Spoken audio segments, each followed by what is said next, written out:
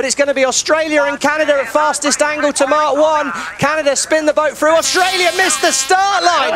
Unbelievable from Tom Slingsby at the top of the line. Unforced error, and it's Phil Robertson on board Canada again.